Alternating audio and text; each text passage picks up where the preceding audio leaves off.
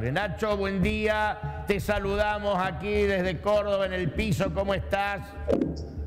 ¿Qué tal, Pato? ¿Cómo te va? El saludo grande para vos, para Moni y para Nati y también para todo el equipo de Pato de la Mañana. La verdad que cómo estoy es una pregunta hoy por hoy, o en este momento al menos difícil de responder. Eh, sensación, es una mezcla de sentimientos encontrados, ¿no?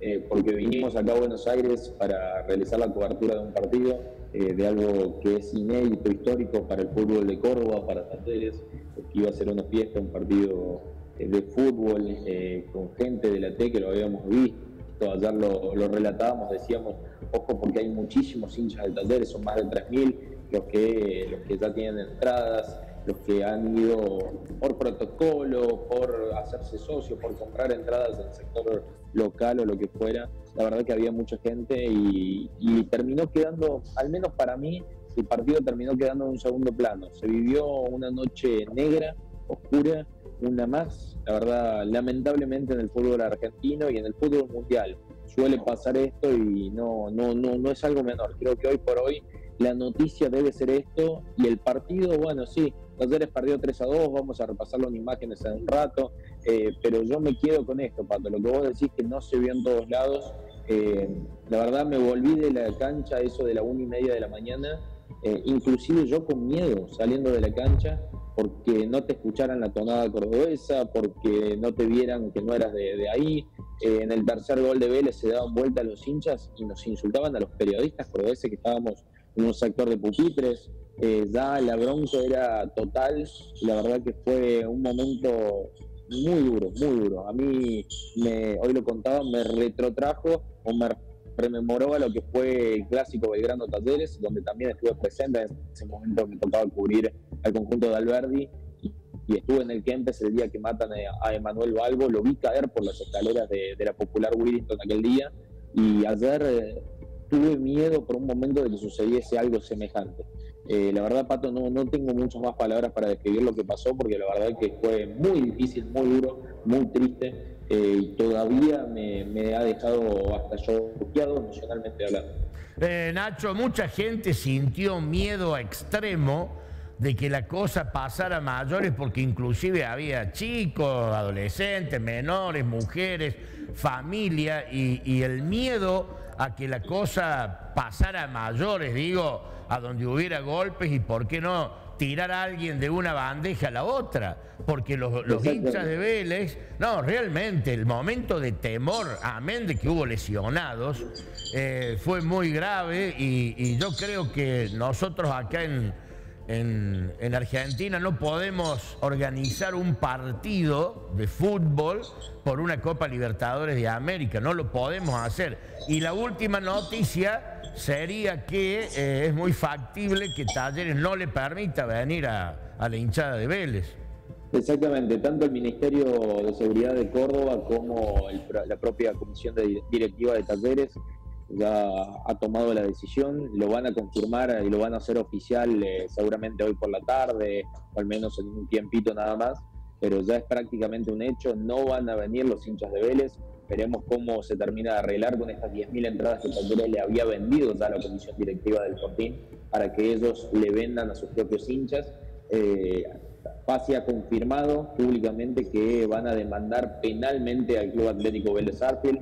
Eh, habló de ineptitud y tildó de inepto al presidente de Vélez, eh, Rapizarda, es un ex barra brava. Estamos hablando de un presidente eh, que tuvo llegada directa con la barra, que tiene todavía y que fue el principal responsable de lo que sucedió ayer. Yo no quiero dejar de lado que hay hinchas de talleres que llegaron con banderas, que se metieron con camisetas, que en el entretiempo se pusieron a cantar. Fueron un grupo de cerca de 20, 30, hasta me animo a decir de 40 hinchas fuera del lugar totalmente, si vos sabés que vas de infiltrado, de última pasada desapercibido, calladito y respetá al público del local, pero lo que termina pasando eh, es sumamente grave, fue en la platea Alta Sur, eh, cuando empezamos a ver todas esas corridas y ese movimiento, nosotros teníamos en la platea del frente, es lo que sucedía, eh, nosotros estábamos en la norte, ellos estaban en la sur, y la verdad que se veía cómo caía la gente, cómo golpeaban, y después pudiendo averiguar, en ese sector es donde estaban los allegados de talleres. familiares, como vos lo decías, familiares de futbolistas, amigos de los futbolistas, gente llegada a la comisión directiva de talleres, incluso hasta algunos políticos cordobeses estaban presentes ahí. Eh, la verdad que fue una verdadera locura, he podido hablar con amigos que estuvieron presentes en ese sector, algunos que pudieron salir corriendo, otros que ligaron golpes de puño, eh, incluso me dicen que cuando los sacan de la tribuna, eh, finalmente, los acorralan, los emboscan en la barra brava abajo en los pasillos y los, los acorralan contra, contra unas paredes, contra los puestos de, panchos y de choripanes, de hamburguesas, eh, les seguían pegando, les tiraron con botellas. Hay una foto, si no me equivoco, es de la voz del interior, se ve un barra brava de Vélez con una llave de cruz.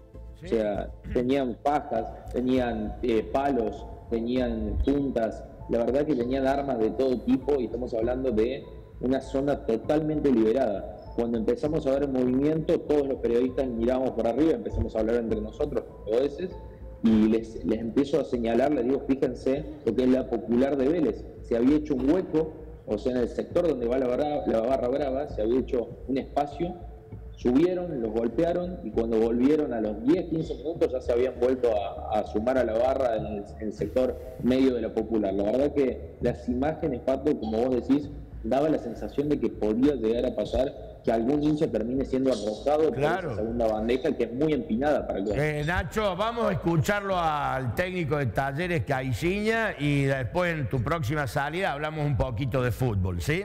a ver qué decía, qué decía el técnico de Talleres. Ya te dije que es un incidente triste para nosotros. esto no es, parte del fútbol.